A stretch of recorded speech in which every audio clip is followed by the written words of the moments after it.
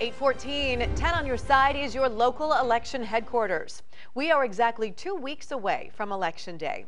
As we prepare you to head to the polls, we're taking a look at a few specific races of interest in Hampton Roads. And this week, we introduce you to those looking to replace the man who currently holds the title as the longest continually serving council member in Hampton Roads.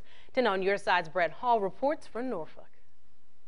For three decades, those living in some of the more southwestern portions of Norfolk, including some of the region's more economically challenged neighborhoods, have been represented by the same man, Councilman Paul Riddick. He will leave City Council at the end of the year.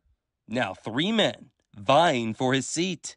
Today, we introduce you to one of them. My name is John J.P. Paige, and I'm running for City Council in the City of Norfolk for Ward 4. Paige, an Air Force veteran turned bail bondsman, says the reason he decided to throw his hat in the ring that I could be the person that would be a bridge to allow for leadership that's present to get to know people that I don't think they know anymore. We asked him if that should be meant as a criticism of the current city council. I would say the city council could be a whole lot better. He says he doesn't agree with recent city council efforts that shut down nightlife operations in the name of tackling crime. And while he has the endorsement of his predecessor, he says he will do things differently than Riddick. Riddick has had his fair share of controversies over the years, often sparring with other council members. Critics say it has hurt Ward 4. I think my ability to connect with all people and get along with people in certain ways and to be mission oriented and mission focused will allow for us to get some things done that traditionally we had challenges in getting done. His top concern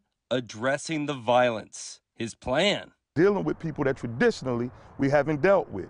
We have so many stop the violence rallies that don't include any people that are violent. How we're going to address the issue if we're preaching to the choir? He says he's about having one-on-one conversations. Hey, hey, good morning, sir. He says each change starts with one person. And when it comes to the one place he loves most in Norfolk, I have a passion for fishing. There are a couple of secret fishing holes that are downtown. He'd like to bring charter fishing boats to the Elizabeth River. Then he could show us and visitors where they are, maybe. In Norfolk, Brett Hall, 10 on your side. To read Paige's full candidate profile, you can find it on our voter guide on wavy.com. We'll introduce you to other candidates in the race later this week.